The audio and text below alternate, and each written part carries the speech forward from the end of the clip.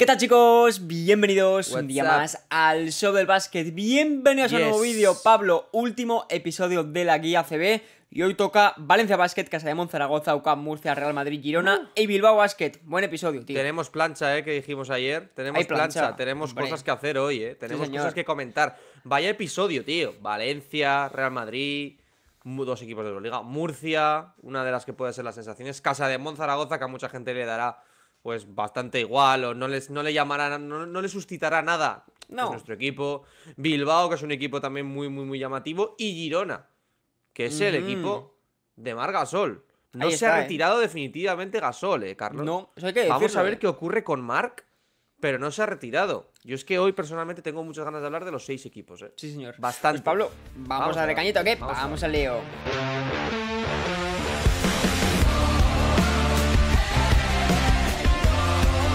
Y como siempre, os podéis suscribir al canal que ya somos Oye, muchos, 4.360 tíos. Muchísimas No, no, gracias por esas 60 y casi 70, tío. Casi No, 70, muchísimo. fenomenal. Muchísimas gracias por las suscripciones. Y antes de nada, recordar que sigue abierta nuestra liga Super Manager, que os dejamos por aquí. El código hay más o menos ahora 64 equipos, me parece, o sea que bastante, pasada, bastante tío. bien. Pero tenemos que llegar a un número más alto, así que os podéis meter por ahí y decir que haremos un pequeño short mostrando nuestros equipos, ¿no? sí, ir puede estar guapo. salsita, puede estar guapo, sí, sí, sí, sí. Te lo comenté ayer, no dije, oye, podría estar chulo. Sí. Podría estar gracioso, eh, le puede gustar a la gente. El año pasado no llegamos ni a 35 equipos, yo creo. Ojo, y este eh. año ya estamos doblando prácticamente esa cifra. Eh, bueno, pues evidentemente, más que doblamos la cifra en, en cuanto En a subs. suscriptores, visitas y tal, con lo cual es normal. Pero vamos a ver, tío, si llegamos a 100 equipos, tío.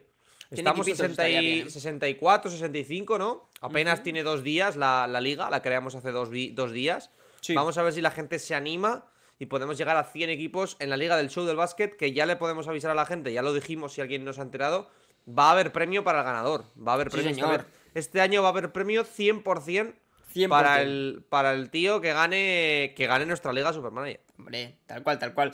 Pues Pablo, si quieres vamos a empezar con Valencia Basket, un equipo Sí, bastante renovado también. hablar, sí. Vamos a dejar por aquí ese eh, gráfico de Valencia Basket con ese Big Three de Chris Jones, Semi Ojeleye y Brandon Davis. Muy buen Big Three, la verdad.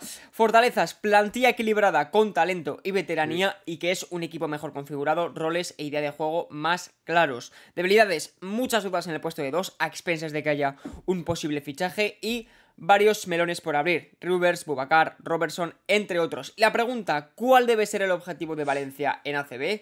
Claro, la realidad es que es una plantilla yo creo bastante mejor, como hemos puesto, configurada Sí. que el año pasado, más equilibrada, eh, con jugadores más de garantías quizás que el año pasado. Y con un nivel bastante alto en general, ¿no? Pero las dudas en ACB el año, eh, el año pasado quedan vigentes, porque recordemos que se clasificaron como octavos y que quedándose muy cerquita de quedarse fuera de playoff. Y en los playoff algo hicieron contra el Barça, pero poquita cosa más, ¿no? Digamos que se espera mucho de este Valencia en la ACB este año. Sí, creo que hay un problema, ¿no? Y, y sobre todo la duda, la duda que tenemos con este equipo es la capacidad que va a tener Carlos de adaptarse y de compaginar otra vez dos competiciones tan duras como la Euroliga y la CB. Sí. Se vio que el año pasado había plantilla, se vio que el año pasado era un equipo, no era un equipo majestuoso, no era un equipo súper bueno, pero sí que era un equipo competitivo, al que le pasó mucha factura el jugar dos partidos tan exigentes semana tras semana. Entonces, yo creo que nuestras dudas quizás, aunque estamos en una guía CB, nuestras dudas en torno a Valencia pueden venir más en torno a la Euroliga que en torno a la CB, ¿no, Carlos? Puede ser, Porque sí. pueden surgirnos dudas en cuanto a cuál va a ser el rendimiento de Cassius Robertson en la, en la La Euroliga. Euroliga, por ejemplo, Pero yo creo que está más que demostrado que Cassius Robertson es un jugador de superélite, ¿no? Al 2 para jugar en la Liga Endesa. Sobre todo también eh, hay que valorar la, la capacidad y la, la posibilidad de muchas de mucha polivalencia en, en- en el roster, ¿no? Que tiene, por ejemplo, tenemos a Reuvers, que puede jugar al 5 y al 4. Podemos, vamos a ver qué ocurre con, con Jared Harper, que el año pasado lo vimos jugar al 1 en muchos momentos. Hoy, este año da la sensación de que con la llegada de Jovic, con Chris Jones, pues Harper en principio va a poder limitarse a funciones de mero ejecutor, ¿no? Y mero anotador.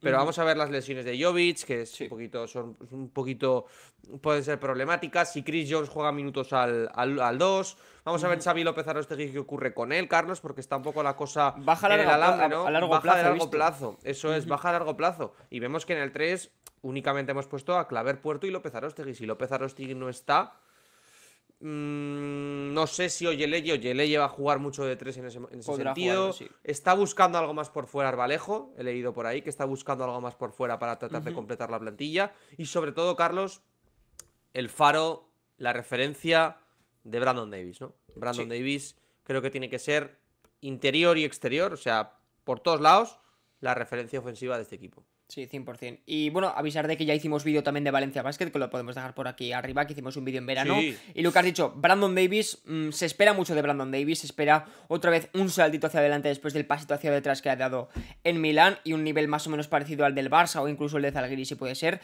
Y creo que se puede congeniar eh, muy bien con Chris Jones. Las incorporaciones han estado muy bien, Chris Jones, Brandon Davis, yo creo que Ojaleye también puede ser eh, un gran jugador eh, muy, muy sólido, que creo que Damien Inglis también puede serlo. Y vamos a ver Stefan Jovic, tengo ganas de ver cómo sale esto porque tengo esperanzas, tengo esperanzas en esto porque al final Chris Jones todo lo que te aporta es impresionante, pero luego que te salga desde el banquillo un tío que te aporte orden, creo que para este equipo de Valencia Basket va a ser determinante, porque organizar todas estas piezas tampoco va a ser sencillo.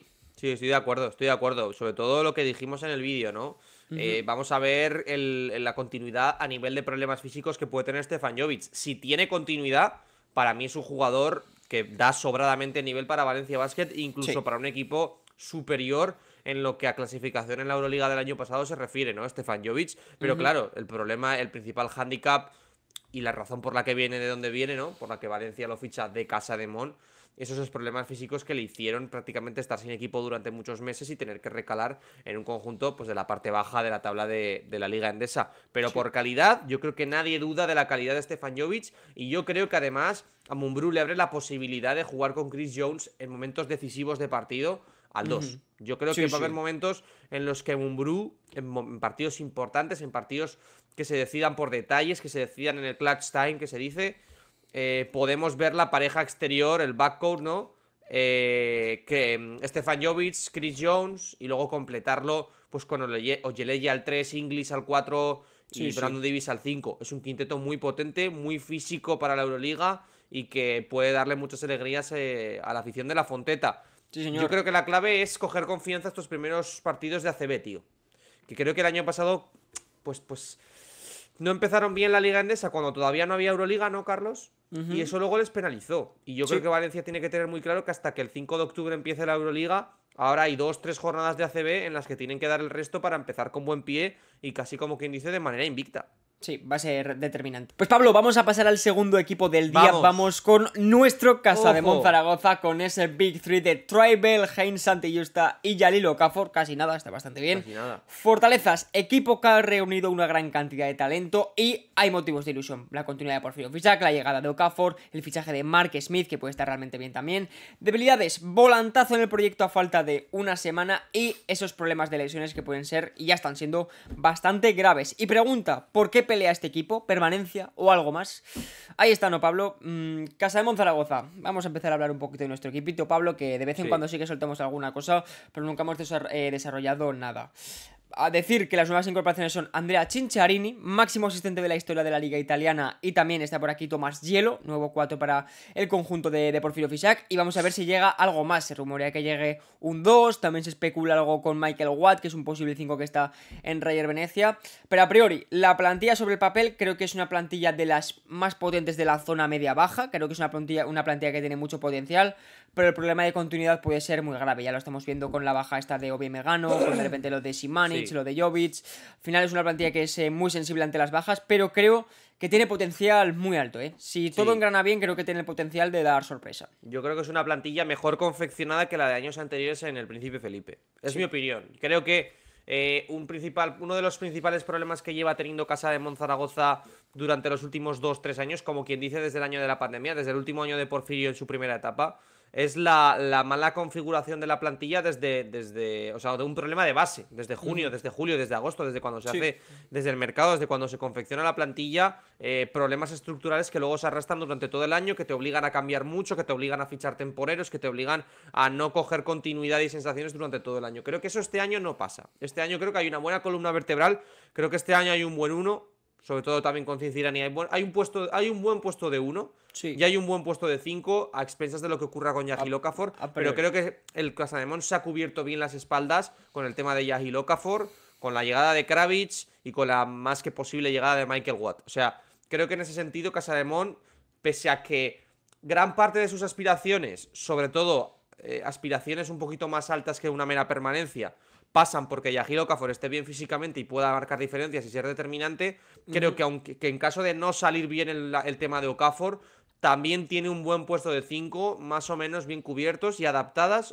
adaptados sobre todo a las características y a lo que quiere Porfirio Fisac del equipo. Luego, pues a mí me deja más dudas, por ejemplo, el puesto de 4, Carlos. Por ejemplo, a mí el tema Suleimanovic, Hielo, Simanic. Bueno, Simanic, vamos a ver si juega esta temporada, pero. Vamos a ver. Me deja más dudas. Hielo también es un jugador que viene de, lesión grave. Eh, vamos a ver cómo cómo está físicamente y qué le puede aportar al equipo. A mí Suleimanovic no es un jugador que me encandile, creo que es un jugador que te aporta energía, que te da rebote, que te da esa rasmia de la que habla tanto Casa de Mon, pero no, no me parece un jugador que enamore, pero que sí que puede ser un jugador que transmita mucho a la grada, cumplidor. Y sobre todo tenía muchas esperanzas y ahora tengo un poquito menos en Ovie me gano. Creo que Mark Smith, Mark Smith es un anotador, es un jugón y es de estos jugadores que si el equipo va viento en popa va a ir bien y si el equipo va mal, pues van a empezar a caer los palos a Mark Smith, pero creía que, o sea, tenía muchas esperanzas puestas en Emegano. Creía que podía estar bien físicamente, que lo de su lesión no iba a ser nada que arrastrase durante el año y a las primeras de cambio, problemas en la rodilla. Y luego ya Trevel Haynes, no voy a descubrir nada. Para mí, Trevel Haynes y Cincinnati es una buena pareja de bases, aunque el bajón eh, de Jovic a Cincinnati, sin querer hacerle, digamos, de menos al italiano, pues es importante. Es importante, hombre. Es que la dupla de bases ya decíamos que era demasiado utópica para ser realidad aquí en casa de Mon. Luego habrá que hablar de la garita, ¿no? Sí, Lucas Langarite que también está por ahí y que parece que a principio de temporada va a tener importancia, a no ser que ahora fichen un 2 también y le quite minutos a Lucas, pero parece que de momento la dupla de escoltas va a ser Mark Smith y Lucas Langarita, que por cierto Lucas ha dejado muy buenas sensaciones en los partidos de pretemporada, quizás a veces un poquito anárquico, quizás un poquito e-, egoísta, pero si mejora ese tipo de cosas puede ser determinante. El otro día vimos que metió 17 puntos y tal, bastante sobrado Lucas a nivel eh, de acierto. Tengo muchas esperanzas, ya lo hemos comentado, Mark Smith, eh, por si la gente no lo conoce, 20 puntos por partido en la liga en la liga alemana, con el Göttingen que quedaron sextos en, en, temporada regular. Y creo que puede ser esa pieza determinante por debajo del radar, que la gente quizás sí que está mucho contra Belgens, con Yali Okafor a ver cómo sale, pero Mark Smith creo que es de estos jugadores que puede utilizar incluso a Zaragoza a modo trampolín para, para otros equipos de, más alto standing. Mm, la plantilla está bien, siempre hemos dicho que nos falta un poquito en el puesto de 3. Santi Justa va a tener un rol de lo más importante, o sea, Santi Justa yo creo que va a ser sí, va a ser el mayor pegamento de esta plantilla y vamos a ver cómo sale Miguel González, ¿no? Eh, jugador que ha pertenecido a Vasconia varios años, pero que ha rondado la Leboro y que ahora pues parece que va a tener un rol importante. La plantilla está bien, hay algún debe, algún pero, pero creo que sí que es verdad que como hemos dicho antes, que estén las mejores plantillas de, abajo. Sí, puede serlo, puede serlo. Luego al final el que habla es el campo, ¿no? Y la, anaranjada pecosa, ¿no? Pero más allá de eso, yo creo que es un equipo bueno, bastante completito, aunque nos faltan cositas tanto al 3 como al 4. A mí son las dos posiciones, los dos eslabones más débiles ¿no? del roster de Casa de Mon. Sobre todo a, mí. Ya ver Porfirio, ¿eh? Claro, confiar en Santi Justa como tu 3 titular, titularísimo. Pues a mí Santi Justa me parece un cupo muy aprovechable, me parece que es un lujo tener un cupo que te aporta tanto como Santi Justa, pero no sé si es para dejar mucho peso, sobre todo ofensivo del equipo en sus manos. Creo que no, y creo que esto lo va a tener claro también Porfirio, ¿eh? aunque en el roster hemos puesto la distribución así, yo a mí no me extrañaría en absoluto ver alguna situación de ver a Trevel Hayes, Mark Smith y Emegano cuando se recupere jugando a la vez en pista, o ver al propio Cincinnati con Bell Haynes al 2, aunque por estatura me deja más dudas por características y lo anotador que puede ser el canadiense, también se puede dar esa situación. Sobre todo también quiero ver qué, qué rol juega Miguel González, porque lo estamos viendo de 4 en esta pretemporada durante muchos momentos, y yo creo que no es un 4. Pero al final yo creo que por fin, con, con toda la baja de Simanis, todavía no había llegado Hielo, dijo, bueno, pues voy a probar a Miguel González de 4 abierto, que es un poco el rol que viene a desempeñar eh, Tomás Hielo, pero...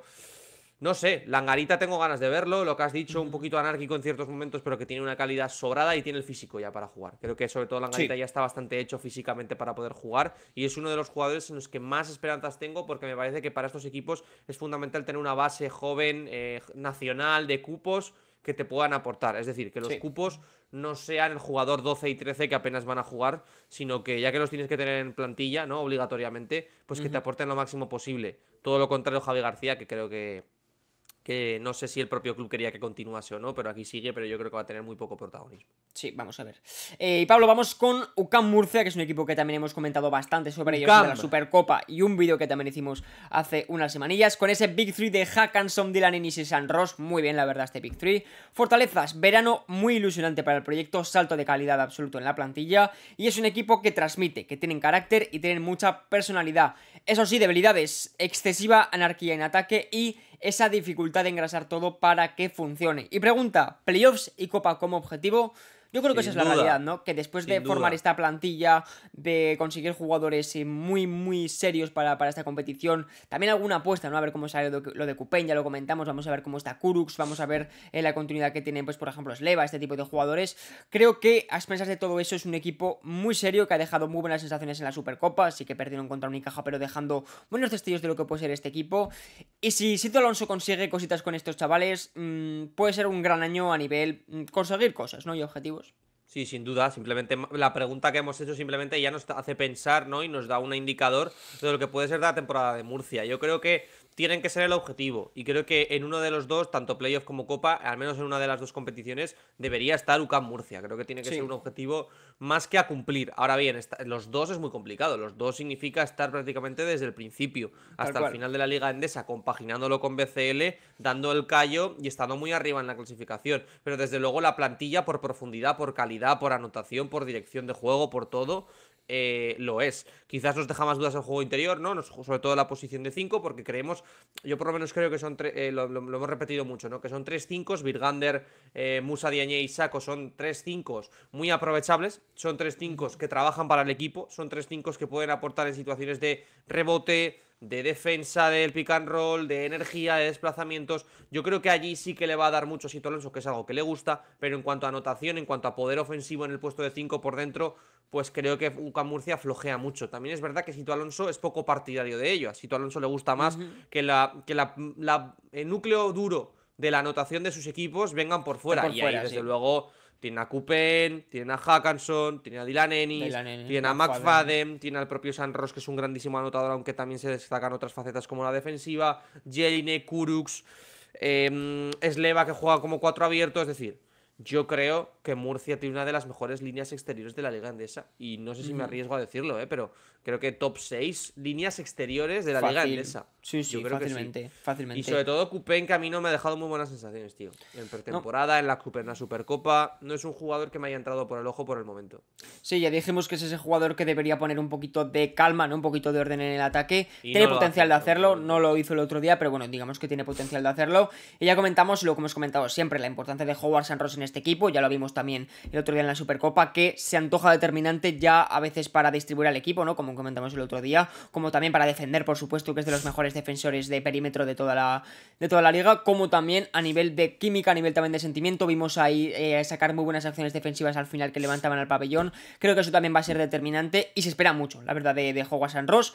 Vamos a ver lo que hemos comentado, cómo, qué rol va a tener, por ejemplo, Jelinek, que el año pasado dejó frío a ciertos tramos. Vamos a ver Kurux, que el otro día también dejó un tanto frío, no su rendimiento, pero sí que es verdad que tiene potencial otra vez para convertirse en un buen jugador. Y poquito más, Pablo, plantilla que yo creo que ilusiona mucho en general. Sí, plantilla que sí, algún aficionado de Murcia está viéndolo, le vamos a dedicar un poquito menos de tiempo porque ya le hemos dedicado dos vídeos a UCAM Murcia durante este verano a comentarlo, pero simplemente por dar pinceladas, lo de San Ross, ¿no? Que es un jugador que en defensa te puede cambiar en bloqueos, que aprieta mucho balón, que pasan por delante los bloqueos, que es muy rápido de manos, que hace muy bien las ayudas, que en general es un jugador muy activo en defensa y muy inteligente, pero que luego además en ataque te puede jugar de tres esperando en la esquina. Quizás no es lo mejor, pero puede meter de tres, sobre todo mejoró mucho a lo largo del año eh, pasado, pero también puede jugar de dos y sobre todo puede jugar de base, puede jugar de no quizás eh, base único base en pista, pero sí base de facto, ¿no? Cuando por ejemplo esté Hawkinson modo anotador, pero esté sufriendo más en lo que es la dirección del juego, San Ross aparece allí, coge el balón, manda jugada, pone todo en orden y en ese sentido es un lujo tener un jugador así como el cubano y Dylan Ennis, que no vamos a descubrir nada de Ennis, eh, chicos. Ennis es un jugador excelso el día que está excelso y el día que está mal es un jugador anárquico que falla muchos tiros y pierde muchos balones. A partir de allí, yo creo que Sito Alonso y Murcia lo tiene muy claro. A partir de allí, yo creo que Ennis va a hacer una buena temporada porque la calidad la tiene. A Sin duda, sin duda. Vamos con el cuarto equipo del día, que es ni más ni menos que el Real Madrid, un equipo que también hemos, eh, hemos masticado bastante en este verano. Vamos con ese Big 3 de Campazo, Musa y Tavares, que también podríamos poner otros jugadores como Gaby Deck incluso. Fortalezas, continúa el mismo equipo que fue campeón de Europa y tienen al mejor base del continente. Debilidades, falta de puntos por fuera y las dudas en torno a algunas figuras, ¿no? Como Alocena, Valde, incluso Jul, que se ha llevado muchos palos este verano. Y pregunta, ¿favoritos a llevarse todo este año? Creo que la pregunta es un un poco obvia. Básicamente sí, yo creo que tanto en ACB como en Euroliga son bastante favoritos. No sé si son los principales en Euroliga, sí, para pero mí en son... ACB sí y en ACB top 4. O sea, o sea, en ACB 100%, ¿no? Son los Sí, favoritos. y en Euroliga top 4, top 3 fácilmente Sí. para llevarse el campeonato. No descubrimos América, Pablo, ya lo vimos también en la Supercopa, que es un equipo muy hecho, muy compacto, que la figura de Campazo va a ser también determinante. Todo lo que faltaba el año pasado te lo va a aportar este tío por fuera. Pero ya hemos comentado que quizás a varios tramos esa chispa por fuera, esos puntos, pues les puede echar en falta, ¿no? El Real Sí, claro, sí, sí, sí, porque el Chacho puede anotar, porque Facu puede ap- anotar, porque Jule el día que esté y Coser lo mismo pueden anotar, pero no están todos los días, porque Aval tiene problemas en la anotación, Musa, Gerson ya son los dos más anotadores y Rudy lo mismo que Jule, ¿no? Que eh, puede anotar, tiene una calidad indudable, no, aquí ahora en 2023 no vamos a ponernos a dudar ni de Jule, ni de Rudy, ni, ni- del Chacho, ni de nadie por el estilo, pero son jugadores ya con una edad que no pueden estar rindiendo partido tras partido y que yo creo que ahí al Madrid quizás le falta algo por fuera, un tirador puro, ¿no? Eh, un poquito de su JC Carroll, ¿no? Que lo sigue buscando. Carroll, tío. O no sé si ya ha cesado en su empeño de buscarlo, ¿no? Igual yo creo que ya puede han ser. cesado ya en, ese, en esa obsesión que parecía que había cuando JC Carroll dejó el, el Real Madrid de encontrar un sustituto al uso, ¿no? Otro tirador puro como era Carroll. Yo creo que el Madrid ya ha buscado otras opciones. Y yo personalmente no sé si hay mucho que comentar del Real Madrid, porque es que mantienen el- toda la plantilla del año pasado. eh, sale Hanga, sale Goss, no sé si sale alguno más. eh, Cordinier, por ejemplo, y viene. No, ay, Cornelí. Cornelier, Cornelí, perdón. Cornelí. perdón. Eh, además me he quedado pensando, lo digo, ah, lo he dicho mal. Y, mm, y llega Campazo, que Ni tan mal, ¿no? ya hemos visto en la Supercopa que es medio equipo a día de hoy. Hombre. Y sobre todo que en abril, ahora estamos en septiembre y pensamos más a cortito plazo, ¿no? Un, poqui- un poquito pensamos en lo que pueden dar estos equipos con esta plantilla, con este roster, en este estado de forma de aquí a un mes y medio. Pero es que luego el hecho de tener a Campazo, aparte de que te va a dar mucho durante todo el curso, va a llegar abril y vas a tener al Chacho en plenitud de condiciones.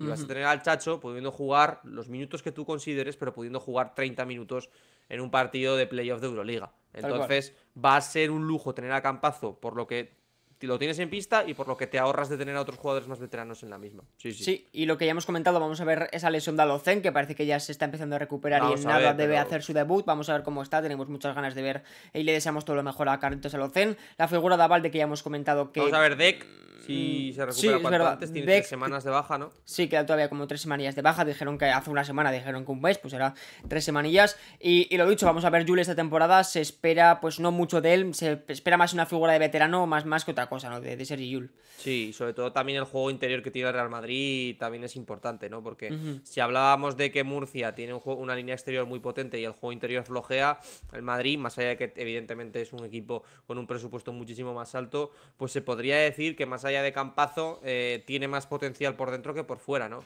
No sé si anotador, pero el juego interior del Real Madrid con Deck al 4 que puede jugar, incluso Gerson ya jugó momentos de Final Four y de Playoff de Euroliga el año pasado al 4, pero también ya Busel, el propio Ndiaye que creo que puede dar un buen paso adelante y luego la pareja Tavares Poirier que ya sabemos que es lo determinante y los estragos que causan el ataque en el ataque rival.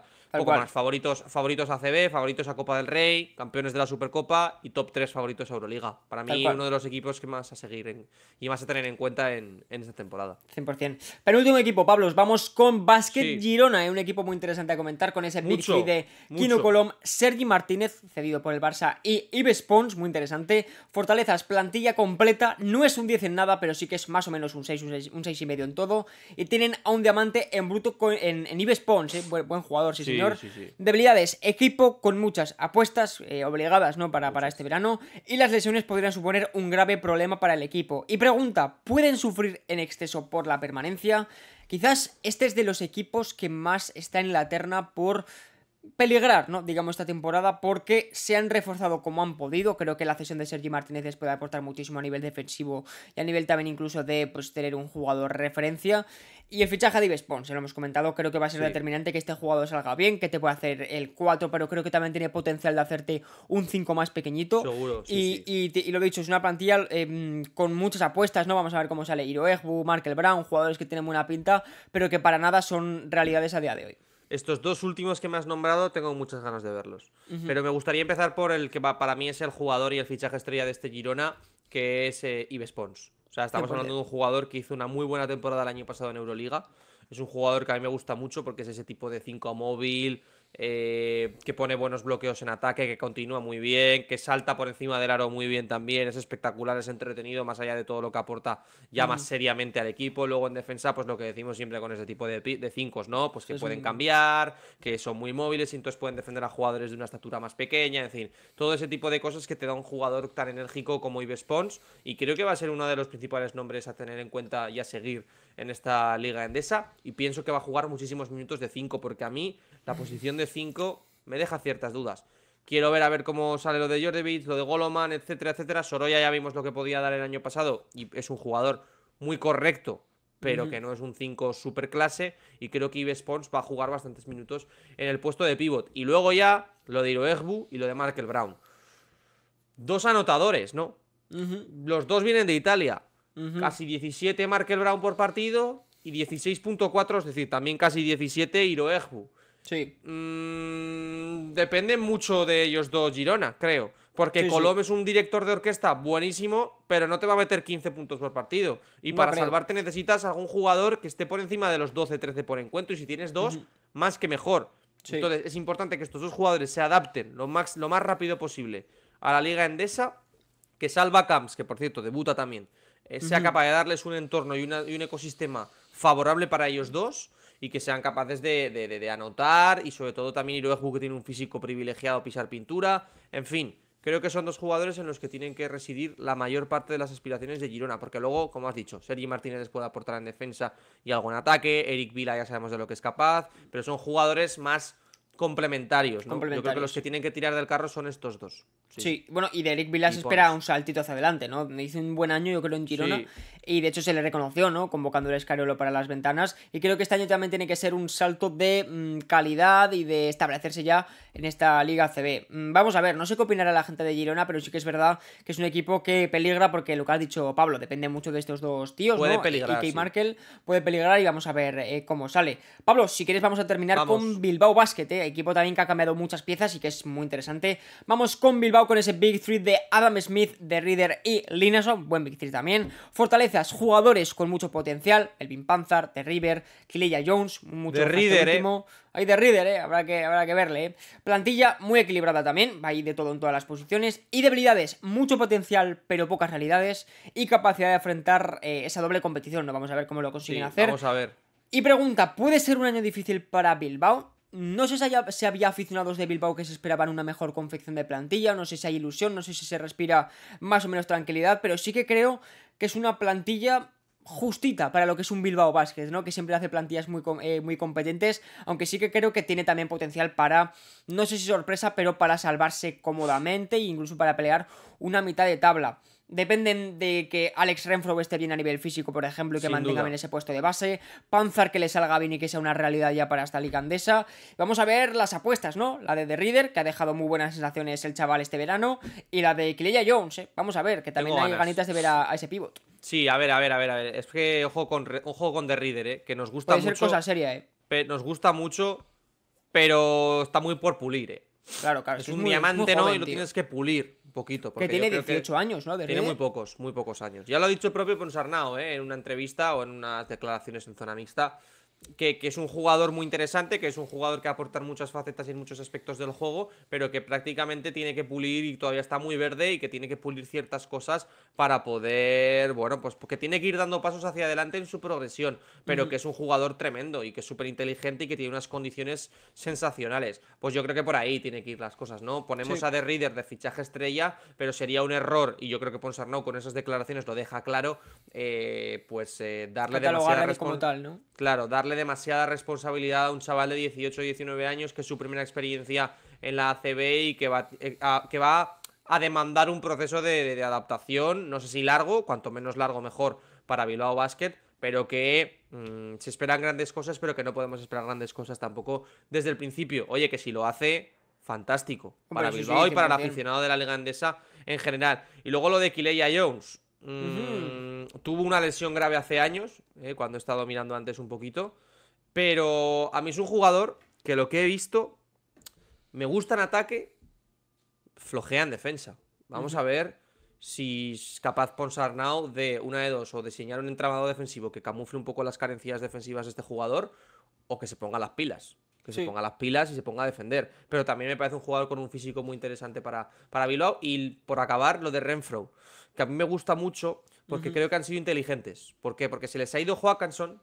Es que se dice Joakanson, por cierto. Joakanson. Joakanson. Es que es muy es- cómodo de decir, mola más Sí. Pero más se les ha marchado, claro. Y Joakanson era un jugador que te daba mucha dirección de juego y te daba mucha anotación. Sí. Y habría sido un error para Bilbao Basket jugársela quizás para sustituir a Hackanson con un- una apuesta de estas, un melón por abrir, con la esperanza de que te diese lo mismo o unos guarismos similares tanto en dirección como en anotación. Yo creo que han dicho, stop, stop, y vamos a buscar una realidad, una garantía, como era Hackanson en el puesto de uno. Y han Sí. encontrado a Renfro, que no te va a dar las cifras anotadores de- anotadoras del sueco, pero en dirección de juego sí que puede que parecerse a, a Hackanson, sí, sí. Sí, y no hemos comentado, pero se espera también un gran año de Adam Smith, creo que también puede ser un año de consolidación, Sí. porque el año pasado fue muy Lujazo regular. mantenerlo. Sí, fue muy regular, pero tuvo muy buenos momentos, sobre todo empezó muy bien la temporada y creo que este año también puede ser muy, eh, muy importante. Y la figura de Linason, ya hemos comentado algunas veces que nos deja un poquito de dudas este fichaje por el hecho de la compatibilidad Linason Jaume Panso Arnau, que en, Sí, en Casa Zaragoza no fue muy buena, ¿no? fue muy buena,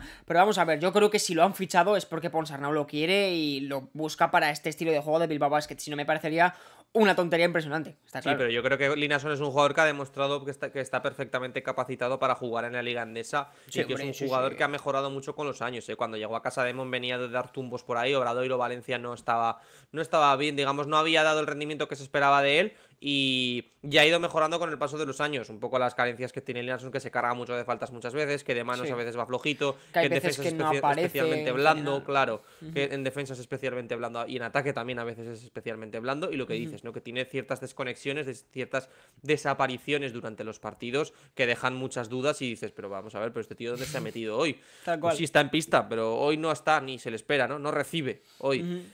Plantilla completa, Kulamae también está por ahí. Plantilla Sí. completa que yo creo que para la FIBA Europe Cup y ACB les puede dar bien para, para hacer un buen papel en ambas. Sí, y no hemos comentado, pero bueno, renovaron a Rabaseda, que también me parece muy importante para, esa, para ese puesto de 3. Y Salpuris, vamos a ver qué rol tiene, A pero a priori no, puede ser no, un jugador que a lo mejor te juegue FIBA Europe Cup, pero poco más. Sí, a mí déjame en paz este Con. Salpuris, sí, señor. A mí con este tema dejadme en paz. Vamos, no voy a hablar.